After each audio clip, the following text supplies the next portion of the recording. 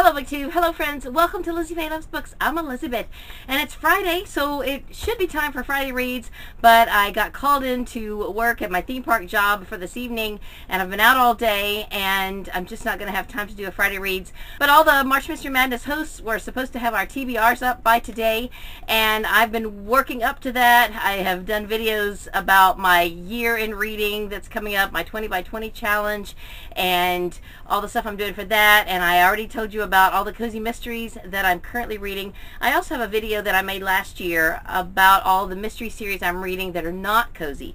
So I will link that down below. But for today, this is just going to be my March Mystery Madness TBR Part 1, and I will tell you what I plan to read for each of the main March Mystery Madness prompts. And as you may know, I have started a March Mystery Madness bingo. That is just something I'm hosting here from my own channel. And I do have several of the cards left. So if you would like to participate and you want me to mail you a March Mystery Madness bingo card, I will certainly do so. If you need instructions for how to print your own out, then go to my bingo announcement and you will see how to do that. I am not able to share this electronically due to the terms of use for the website where I got this. So just check out the March Mystery Madness bingo announcement on my channel and you can get all the details for how you can get a card. So the main prompts for March Mystery Madness are old, again, new, borrowed, blue, and then the bonus prompt is to read a book that features a wedding. So for old, I am going with the next book that I need to read in the Vintage Kitchen Mysteries by Victoria Hamilton. I have read book one, and book two is called Bowled Over. I did check it out from the library, and it is lost in my sea of extra books here somewhere. So I hope to find that before it's due at the library. I'm going to be listening to it on audio. It's available on Hoopla. So that will be my old prompt because it's about vintage kitchen things. For my again, I'm going to listen to three books again on audio. They are the Jamie Quinn Mysteries by Barbara Venkataraman. I have those on Audible and they're very short.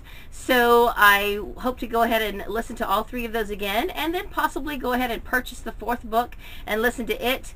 If not in March, then sometime this year. For the new prompt, I am going to read an author that is new to me. This is the first book in the Kate Shackleton series by Frances Brody called Dying in the Wool. And I don't know anything about it. Jayne Catherine on Books sent me another book from this series. And so I noticed that this first book is available on audio on Hoopla. And so I'm going to read this first one and then hopefully go ahead and continue on with the series at some point. For the borrowed prompt, this is going to be one of the books that I am hosting as a read-along here on my channel. And I have double borrowed this book. I have the print copy borrowed from the library and the CDs borrowed from the library also. This is Woman in the Window by A.J. Finn. And for the prompt blue, I have Mr. Monk and the Blue Flu by Lee Goldberg. And this is book three in the Mr. Monk series. So not only does it have the word blue in the title, it's got blue on the cover, it's got a blue spine. So this book is perfect for this prompt. And then for the prompt to read a book featuring a wedding, I'm going to read the next book that I need to read in the Number One Ladies Detective Agency series. I think this is book 10. This is The Saturday Big Tent Wedding Party by Alexander McCall Smith. And I love this series and I can't wait to get to this one. So I'm going to have lots of other books on my TBR. I'm still working out exactly what's going to count for each prompt and I will probably change things around as the month goes on. But I will do a part two of my TBR and at least try to give you the titles of what I'm planning to read for all of the other bingo prompts. And I would like to do as many of the read-alongs from the other hosts as I can, especially if I can get them on audio. I will try my best to participate in those activities. And I want to incorporate all of those into the March Mystery Madness Bingo. So be on the lookout for part two of my TBR. And if I don't get a, a weekend reads or a Friday Reads video done, then I'll just have to let you know what I read for February at the end of the month. But if you are doing the bingo, then I hope you have already started. Anything you are reading right now counts for the bingo, and I don't even really care if it's mystery.